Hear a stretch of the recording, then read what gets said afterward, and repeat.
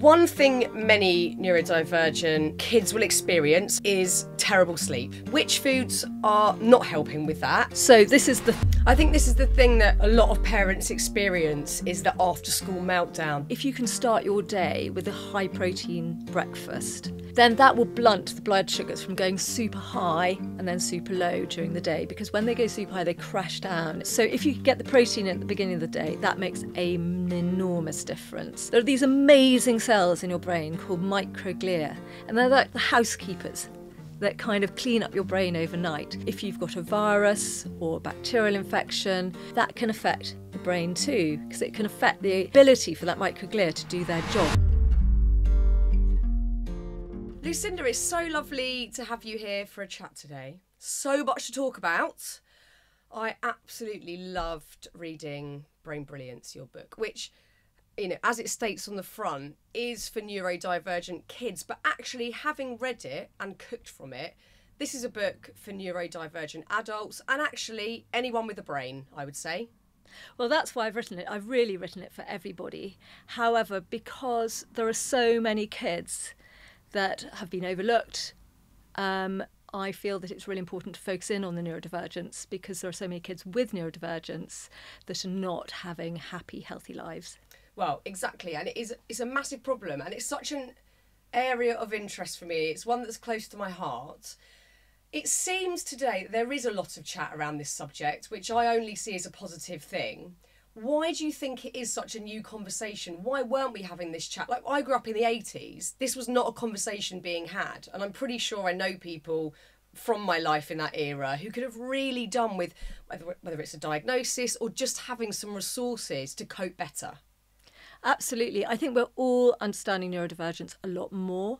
I think most of us can sort of relate to some aspects of it, but it's very nuanced, and that's where a psychiatrist or an educational psychologist will be able to understand exactly what aspect of neurodivergence you might have. But because people are becoming more familiar, they're understanding that kids, for instance, can have a lot more help at school. They can find therapies that may help them with their mental health, with their development, etc. And adults as well, they can really help themselves to really thrive with their brains. So let's go right back to basics. For anyone who's listening to this that perhaps doesn't know much about neurodivergence, what does it mean to be neurodivergent? Well, I think it's a real umbrella term, um, and it just really means that your brain works in a slightly different way to what is described as the neurotypical person. So, for instance, in a classic traditional schoolroom, you might have had 30 kids and two may be identified with, say, dyslexia or ADHD. Now it's a lot more. Um, and whether that's due to environmental reasons, dietary reasons, or whether it's just more awareness, we don't know yet. However, it's really those kids that may think out of the box, have a different learning style, but also behaviourally might find it really challenging to sit at a desk, or, you know, parents might find them really hard to raise. Yeah. This is the thing. It's a whole different situation for a neurodivergent kid who's navigating that very regimented school life, but also for parents to, as sanely as possible, parent kids who, you know, the, the typical things we might see with many, because I know you've got a whole massive list of sort of an index of all the different um, types of neurodivergence that you you could have. Um, it's it's a really tricky thing to parent. It's a really th- tricky thing if you've got kids in the classroom and you're just teaching in the the sort of regimented way. But one thing that I haven't heard talked about as much, which I'm this is why I love your book so much, is the connection to diet. And I think even when we look at mental health, diet can be a bit poo pooed, like, oh, as if diet's got anything to do with depression or anxiety. Of course it does. It's so bizarre to think that we know if we eat a good healthy diet, our physical body will feel better and will feel good. But we sort of extract the brain from that equation and think that's its own separate entity. Of course, there's going to be a direct correlation, to how our brain works and how we feel due to diet. Why is this being so overlooked, do you think? Well, I think it's an emerging science. I think it's something that wasn't prioritised originally. Ma- mainly people think of diet as, you know, what you look like, you know, how tall you grow or how large you are or, um, you know, those sorts of things. They might associate diet with, say, heart disease or diabetes. But I think it's more and more emerging now that it can, uh, you know, affect the brain just as much. So originally, um, I think people, you know, doctors were divided into two. You had your medical doctor you'd see for physical issues, and then you'd have a psychiatrist who would look at, you know, brain psych- psychiatric issues. And it was almost like there was a Berlin Wall between the two, and mm. it was sort mm. of like, you know, they didn't interact. But now research is finding that there is an immune system in the brain. So if your immune system's being disrupted due to a cold or a virus, then your brain. And I think this is what you see with COVID, for instance. People say, "Yeah, you know, I felt really ill, but I also my I had really terrible brain fog. I felt really low. My energy was very low, and that you know they could almost feel their brain feeling kind of inflamed." So I think we're all learning from that, um, and also that you know there's a huge amount of research finding that diet is linked with things like depression, anxiety, OCD, even. And this is up to you know 15 years later. So these are you know changes in diet can alter your brain for a very long time. So you're a naturopath and also a function, functional me- medicine practitioner. Is that the right terminology? That's right. Yes. Yeah, absolutely. Um, so what does that mean when you're working with somebody, a kid or an adult, and you're looking specifically at neurodivergence? How are you applying diet to the equation? So what it is is I fundamentally believe that we can nourish our brains through eating well. Now, most kids that we see are incredibly fussy eaters. So the parents have probably identified that they're eating a very narrow diet and they've made that connection that they're looking really pale, they're very tired, they're not sleeping very well, they maybe have aches and pains or sort of tummy all the time. So there's other things going on. And so, what we do is we look to see what else might be going on. Is there inflammation going on? Is there a gut issue going on? How are they anemic? Have they got low zinc? You know, all these important things. And once we've done those tests, and these are usually urine tests, stool tests, hair tests, occasionally blood tests, but we try and avoid those with kids because you know they don't like them very much. And then um, we piece together a health plan, which is changes in diet. But these are very positive changes. These are trying to put new things in rather than take things out, unless there's a really marked allergy or something that's come up, like, I don't know, celiac disease, which is a gluten problem. So, um, and then it's trying to nourish that child back and to help to feed the gut microbiome, which I'm sure we'll talk about a bit more later, um, and um, to basically help them get back on track. And once they feel more energized, once they've got more vitality, then the brain starts working better too. They're more confident, their mood, mood lifts, they sleep better. Suddenly they're getting better reports from school. You know, they find they've got more friends around them. Um, life at home is much easier. They feel better liked within the family environment. You know, they just feel they fit in everywhere. And so I think that's where it's really important. It's all about their well being and getting them to the best version of themselves you can. And I guess managing the symptoms that each of these neurodivergent diagnoses will present to each individual. It's not about, okay, you've got for instance, ADHD, we're going to cure you of ADHD. It's let's manage the symptoms with diet. And through your book and from the work that you're doing, you've seen evidence in that being possible. Absolutely. So I have ADHD. Um, I got diagnosed when I was 31, and I love my brain. But at that point, I didn't love my brain. I was in chaos. I was disorganized, scattered. I was a new mum. I found it incredibly hard to manage my life. And now, you know, I've got three kids, I run this business, you know, I love writing books, etc. And, you know, I can manage it all. And I love the way that my brain thinks out of the box, quite creative, but also scientific at the same time. And so I feel I've got the best version of my brain I can. My uncle died of dementia. And, you know, again, I want to protect my brain going forward. I'm in my mid 50s now, and, you know, I really want to have a healthy, happy later life too. So, you know, that's just from my perspective. So, I'm not curing my ADHD. I thrive with my ADHD. Without it, it would be, I would be empty. Um, And um, however, when I first was looking at this, I wanted to have another baby. There wasn't enough research around the medications and pregnancy, and I just thought I want to do this naturally. I was a naturopath anyway, and I thought I want to do this through diet. So the first thing I did was to eat a really high protein breakfast, and it made such a massive difference to my whole day. And that was just one change. And then over the years, I mean, you know, we all navigate health ups and downs, and I found different ways to support my brain. But at the end of the day, um, you know, I think there are little things that you can do that can make a massive difference. So it's certainly not about curing at all. It's about looking at the situation, looking at that specific person's situation and thinking, how am I going to make their life better? How am I going to help their brain to work the best they can? And for instance, dyslexic kids, there's really good research to find that one basic task at say at school, something like, you know, some maths task or English or whatever it might be, can take up about five times as much brain energy as a neurotypical person. Wow. So imagine how exhausting, how much energy that child needs to maintain that energy throughout the whole day. It's exhausting being neurodivergent. And therefore, if they can be fueled with the right foods to give them that energy during the day, then isn't it brilliant? They're going to come out of school and they're not going to feel completely drained, completely dysregulated. They're going to be able to go and enjoy their football, or all the things they love to do, or gaming, or whatever they want to do after school, rather than be all over the shop.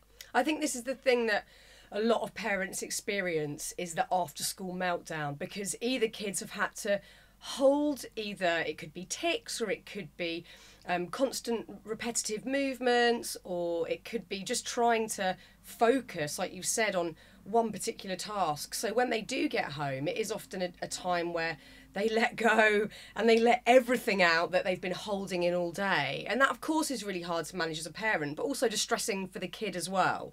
And it's really typical to see huge meltdowns. Um, even sort of tantrums, but but sort of past the age of, of when you'd be having tantrums, uh, and big dramatic mood swings. How can diet help monitor that, or just lessen the degree of those big sort of meltdowns?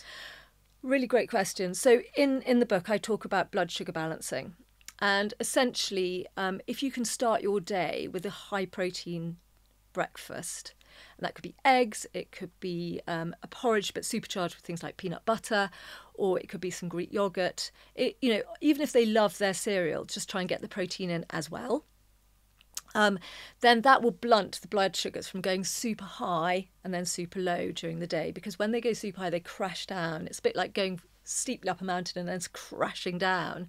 So by break time, you know, they're feeling a bit wobbly, so they crave the biscuits and the fruit rather than something a bit more substantial. So their blood sugars go whizzing up again and they go crashing down by lunchtime. So all they want is the baguette or the pizza rather than, you know, the sort of more sol- solid, sort of home cooked, you know, whatever they're getting at school. And then again, blood sugars go whizzing up and then it goes crashing down. Of course, it's school pickup time, and that's where they're totally dysregulated.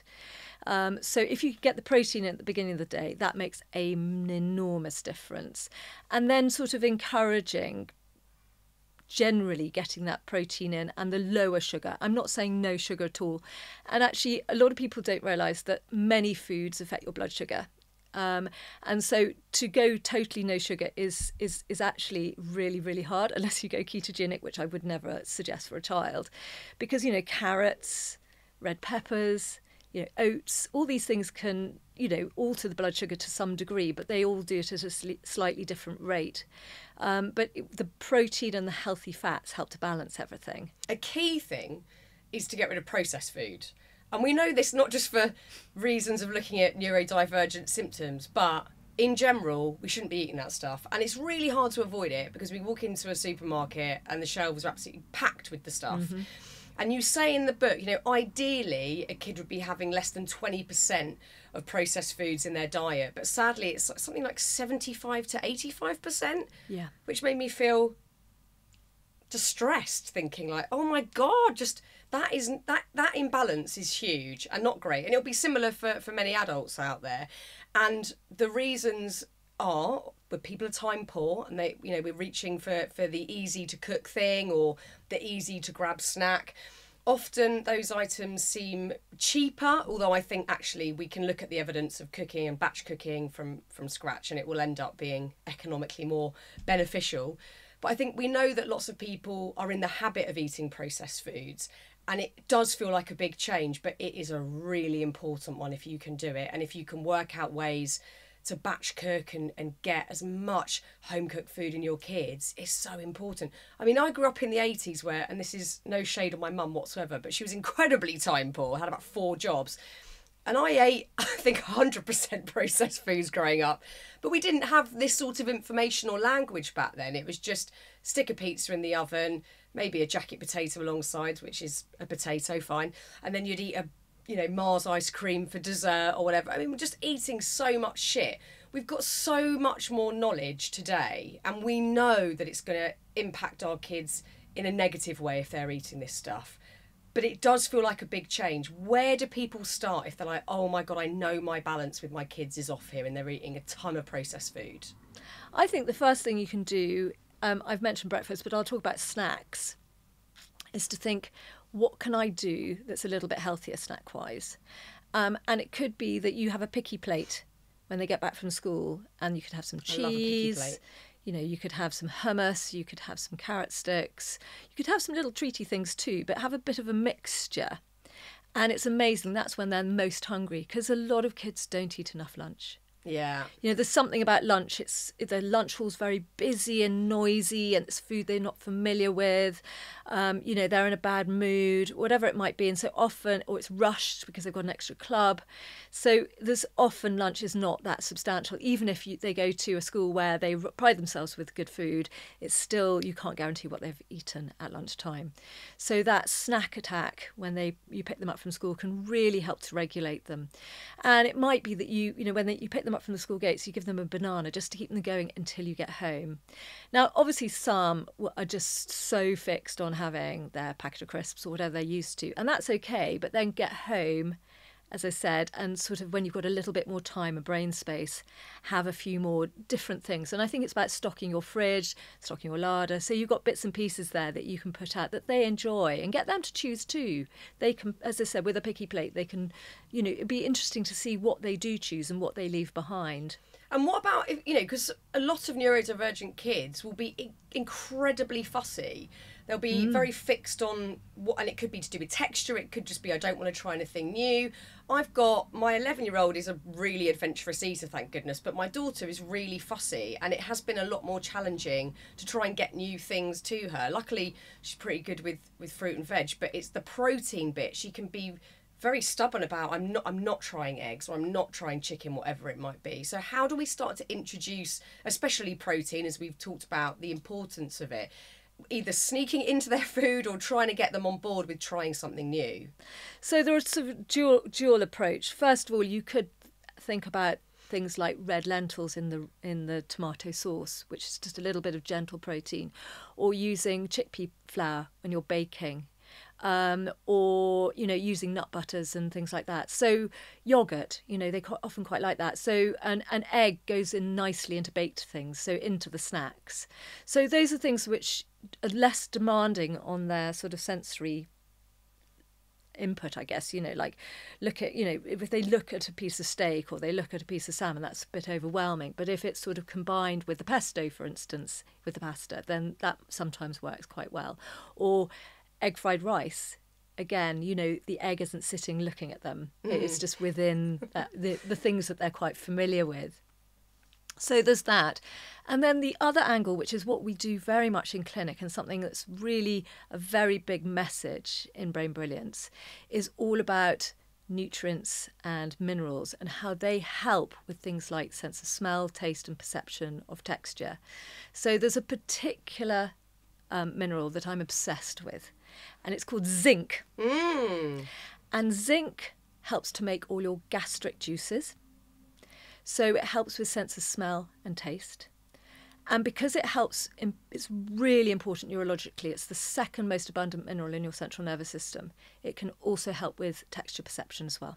Wow. And are we getting zinc from food only, or are supplements important in this conversation? This is where it's difficult because high zinc foods, the most the highest food is an oyster. And I mean, I mean, lots of people will I've not. never eaten one, and I, I can't even bear the thought of it. Well, exactly. When people chug them back, I think, how are you doing that?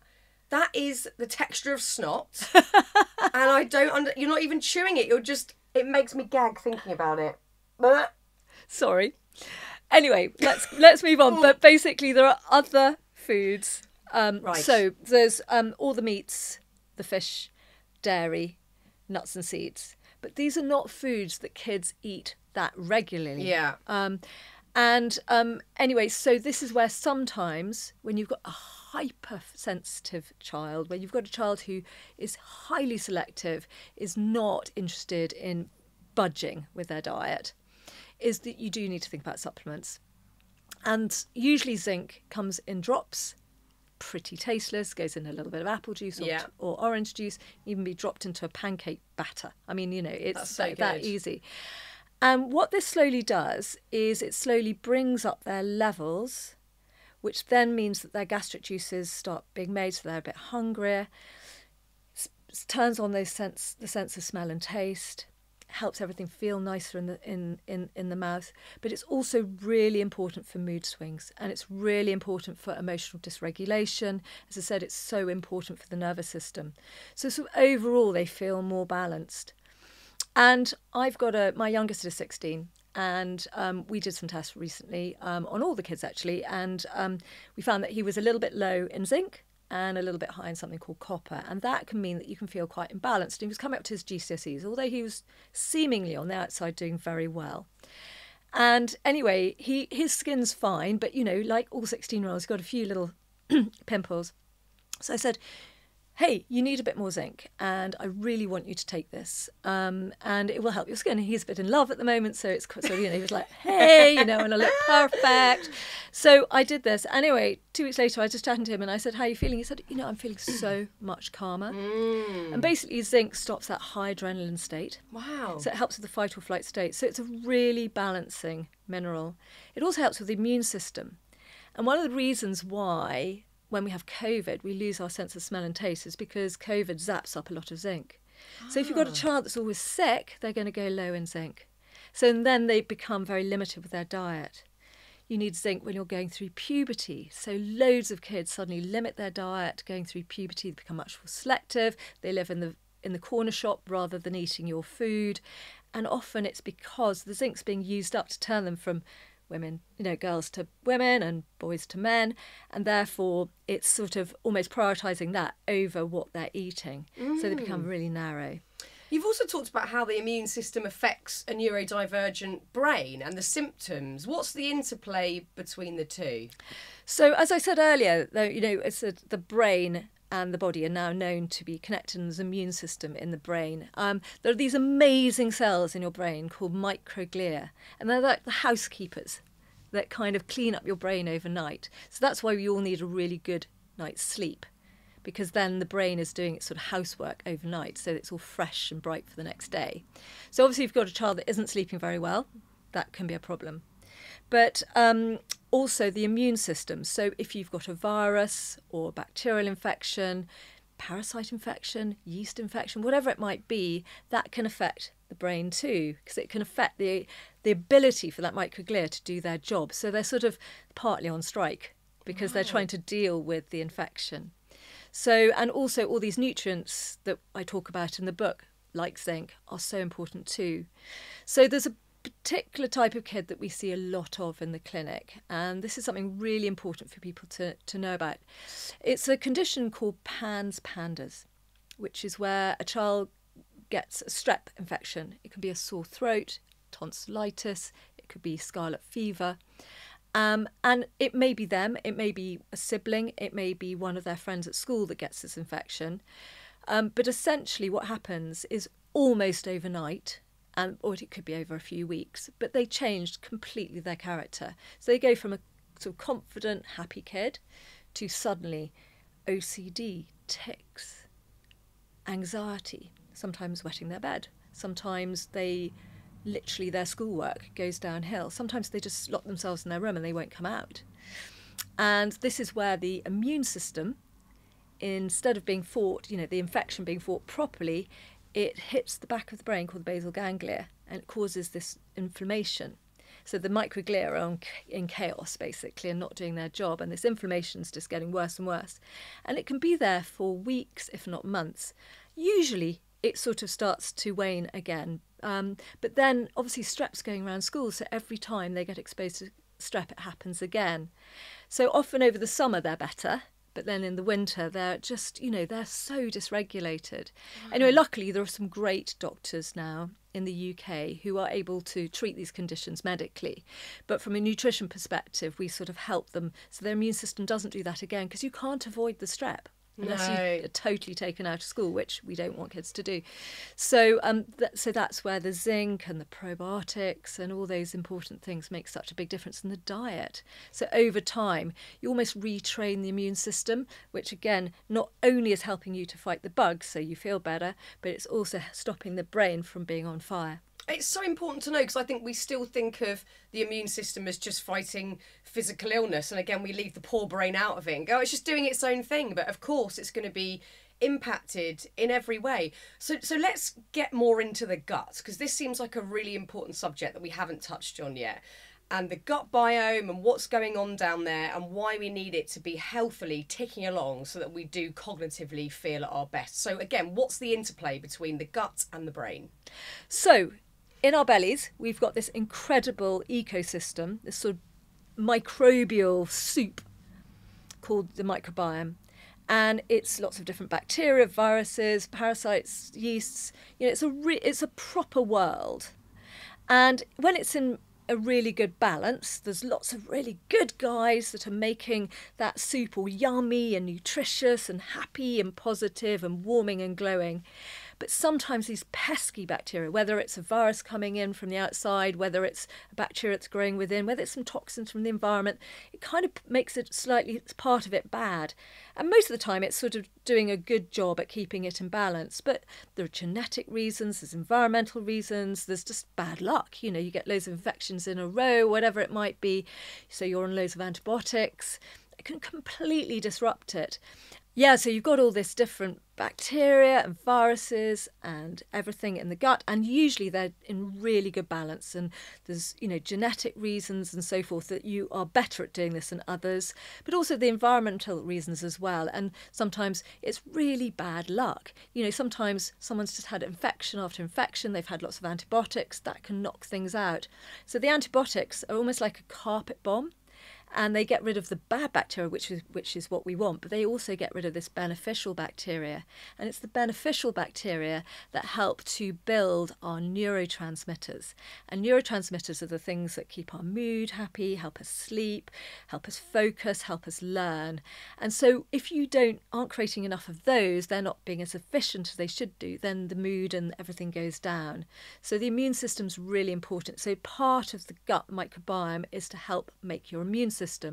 It also helps to bring down this inflammation I was talking about that can affect the brain, but it also makes these neurotransmitters. And I'll tell you a little bit about neurotransmitters because I'm, I'm really, really love these. so, everyone's heard probably, if they know anything about the gut microbiome, they've probably heard of something called lactobacillus. It's in yogurt, it's in its cousin called kefir, it's in all the fermented culture foods that people talk about. It's also created from eating a healthy diet, fruits and vegetables, etc.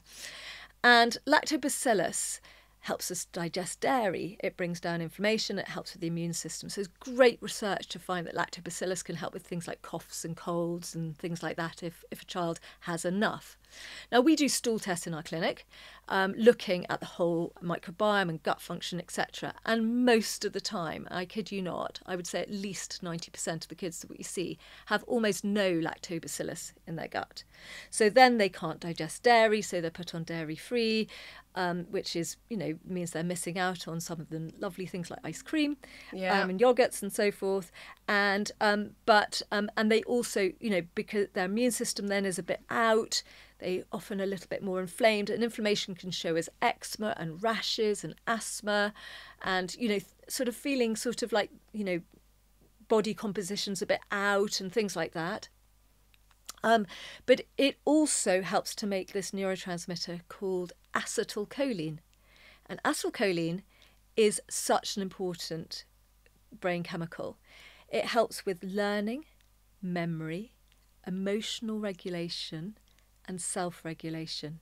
So it helps with things like working memory and processing and executive function, all these key things that neurodivergent kids often really, really struggle with. Yeah, I haven't heard of that one. I know like your dopamines and your serotonins, but I haven't heard of that yeah, one. it's a really important one. Why are the majority of kids you're seeing uh, lacking in what was it? Lactose.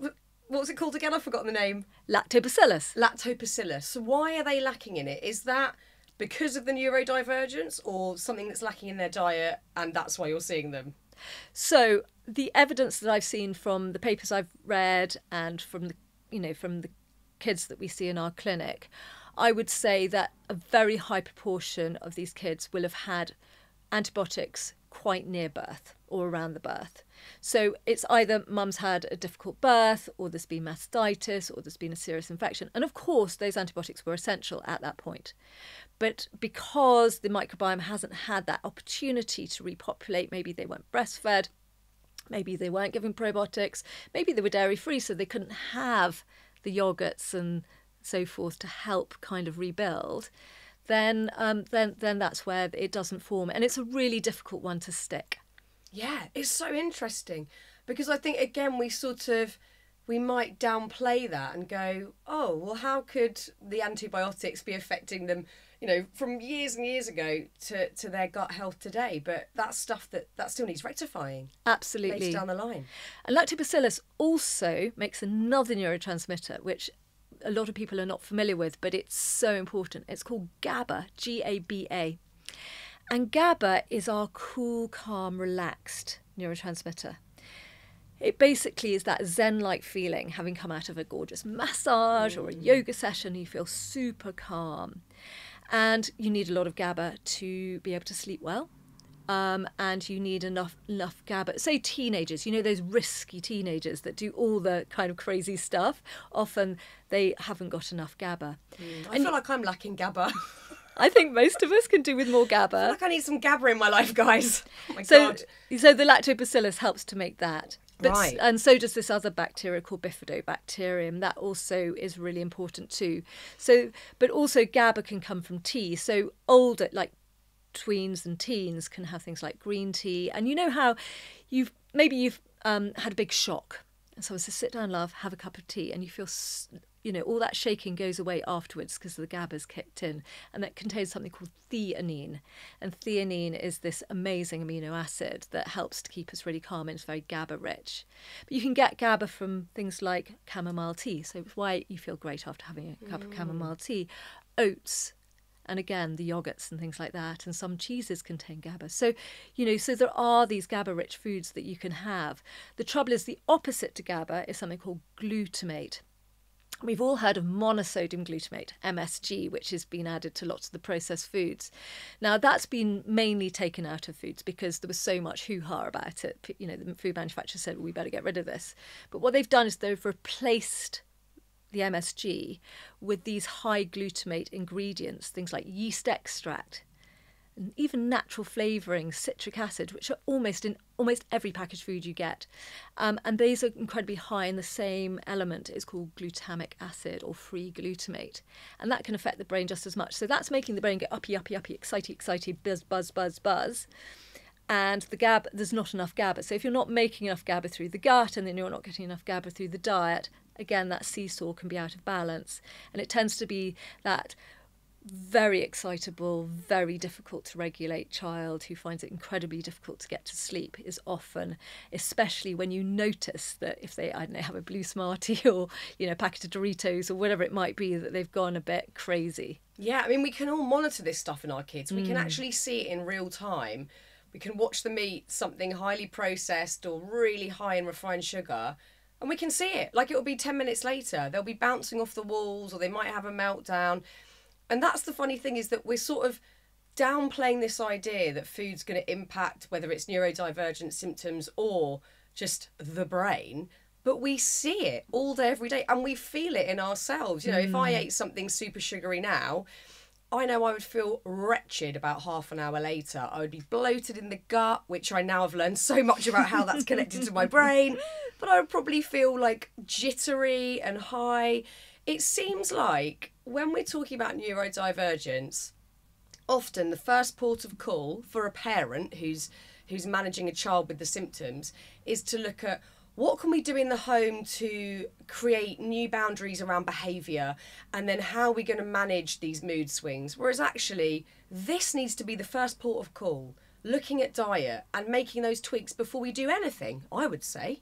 So that's what we find exactly that if you can get the diet right, then all the other therapies and all the other interventions just work so much So more easily. better. And as I said, it could be something really simple like just adding a boiled egg in at breakfast, you know, Yeah. or you know, a couple of tablespoons of yogurt, or a thick slice, you know, th- thick, or a thick spread of peanut butter on the toast. What's not to love about that Yeah, I mean, delicious. and then you can put some bananas and Heaven. raspberries and things like that on there. And the snacks can be supercharged too. Um, you know, in, in Brain Brilliance, we have just got these delicious, well, I think delicious recipes. My kids loved it. oh, they're the kids, so good all the kids on the set that when we were doing all the cooking loved them as well. And it's things like mug cake. You know, it takes a minute and a half to make, but it's got ground almonds in it rather than just white flour. So there are just little switches that you can have at home, different ingredients that you can use, and it becomes their normal. It's what they normally put in these things. Exactly. So if, if someone's listening to this thinking, God, I really need to make some switches here and, and, and have a look at how my kid um, is impacted positively, if they're feeling a little bit overwhelmed by all the information, which is natural, I think when you start thinking about anything within a different framework or you just want to look at a new perspective, everything can feel really, really overwhelming. If we distill everything down to some basics, are we saying protein is a must in whatever form? Get processed food out as much as possible. As much as possible. So cook from scratch. Cook Try and cook scratch. scratch where you can, or choose snacks when you look in the supermarket that don't have too many um, that don't have too many ingredients on, on the label. Yeah, if you look at it and think, what does that say? Don't eat it. Yeah. as much as possible. I mean, okay, so that's that's a really good way of just sort of us distilling it down. I guess as your kid gets older, you can get more into conversation with them about this. Mm-hmm. I know even with my own kids, if I say, "Oh, guys," I wouldn't pick that if I were you because I don't.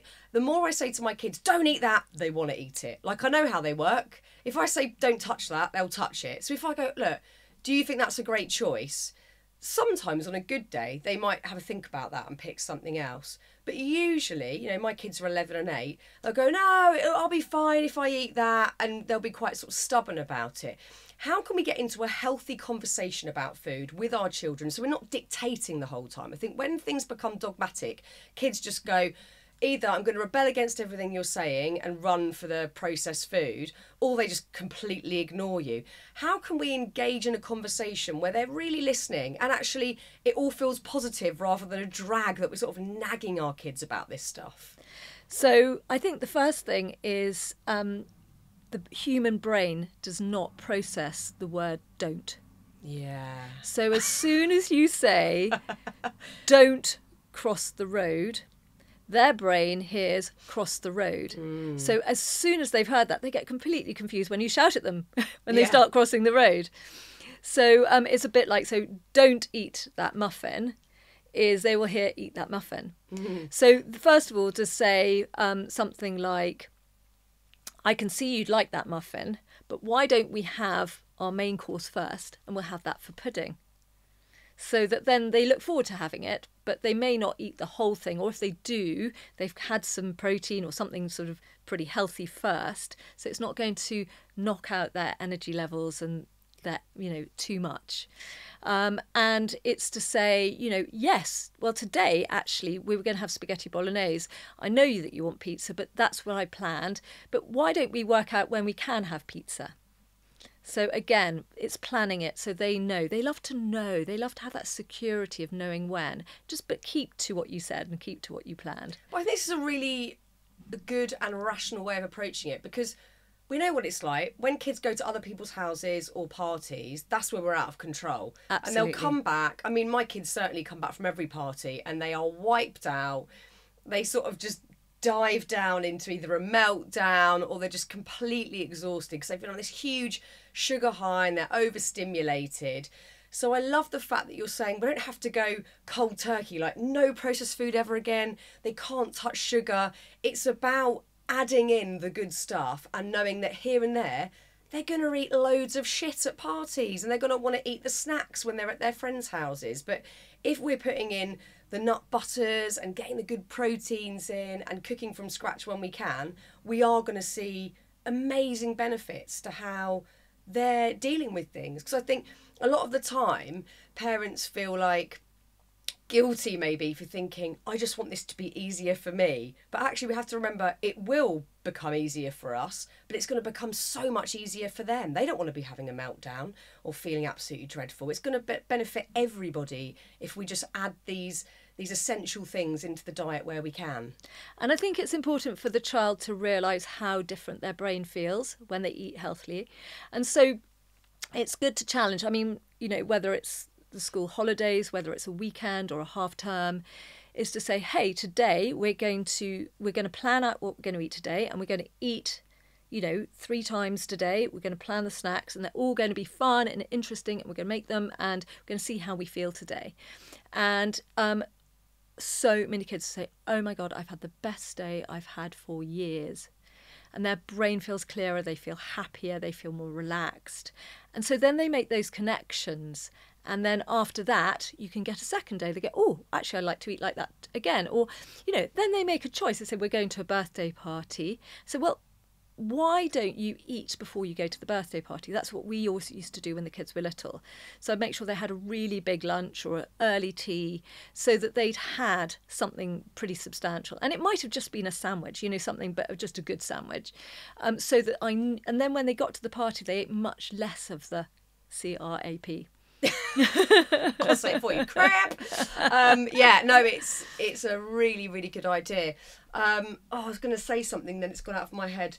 Um, one thing many neurodivergent kids will experience and parents will have to face is terrible sleep because it can impact sleep so massively whether it's getting to sleep whether it's waking up in the middle of the night having a night terror not being able to get back to sleep again which foods are not helping with that and which foods will help create serotonin and get um, kids into a good healthy sleep pattern Lovely question. Thanks, Fearne. So, this is the first thing that we do when the kids come to our clinic is to ensure they have a good night's sleep because that is where the magic happens, where the body and the brain heals itself overnight.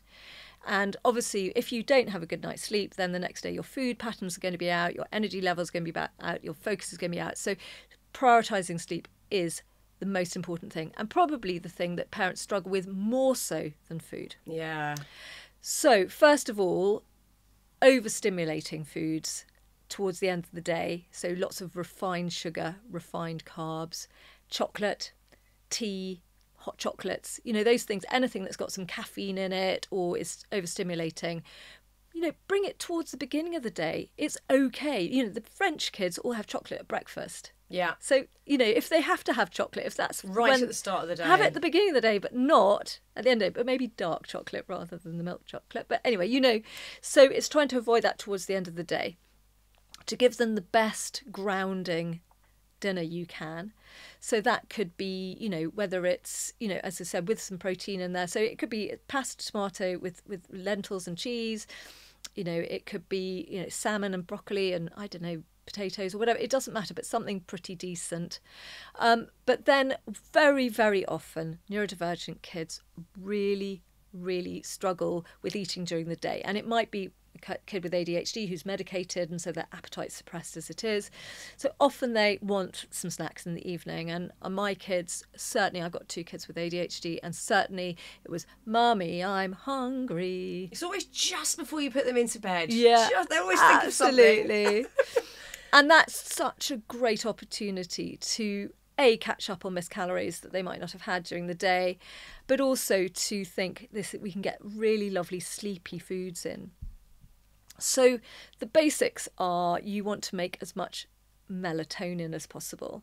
Um, and melatonin is that hormone that helps us to get to sleep. It basically says night night time. Heaven. And in the morning, the melatonin goes level, that goes down. It says it's morning. So we want to create as much melatonin as possible.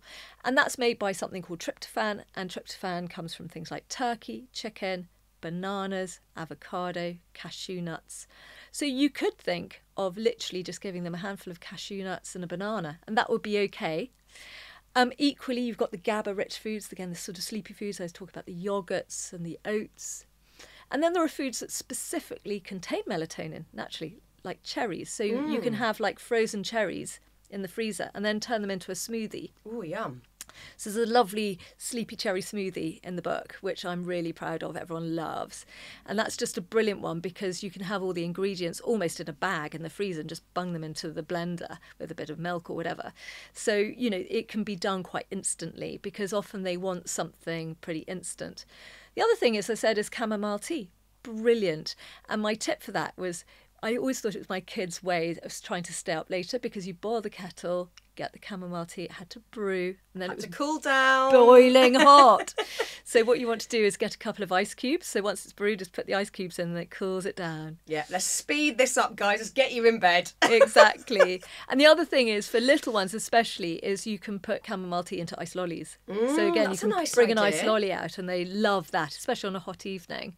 So there's sort of tons of things you can do. And then one of my favourite, favourite things, which is not a food, but it's just so important and it has been so fundamental to our lives is something called an Epsom salt bath. Oh yeah, love an Epsom salt Oh bath. my god, they are amazing. Dreamy. So they contain lots of magnesium, and magnesium is this incredible mineral that basically helps us sleep, it helps our muscles to relax, it puts us into a soporific state, helps to make this GABA. So it's amazing. And the magnesium sulfate in the Epsom salts also kind of helps the liver and it helps sort of every the whole body to sort of rebalance. And um, I remember my daughter, who's who's got ADHD. She's incredibly sporty, and she would always say, "I have happy dreams." every Oh, that's time I have an so Epsom salt bath. And even now, she's 21 and she's still, you know, she does a big tournament or whatever. She'll come back and she will soak in an Epsom salt bath. And it's her kind of homing, homing siren, you know, to kind of come home and ground. Yeah. Um, and I found it brilliant for aches and pains and things like that. And it's brilliant for things like restless legs, growing pains, you know, all these things that so many kids experience. And that disrupts their sleep. So, you know, so you just want, and so it's just, it's brilliant. So, Epsom salt baths, I think, is such a win. And it's not a pill or a potion. It's just literally, it's not even a food. It's something that you can just put two cups in the bath, swish it around, and let them sit, play, you know, chill out, listen to a podcast, whatever it might be in the in the bath, and they love it. Mm, I want one right now. Sounds so good. Um, Lucinda, this has been so fascinating, and I've taken so much from it. And it's, I mean, even reading the book has just given me a hell of a lot to think about. I've loved cooking from it. I made the lovely chocolate waffles the other day, which I ate most of them actually. They're so good. um, but it's just brilliant, and um, and thank you so much for being on Happy Place. Thank you, Fearne. It's been magical.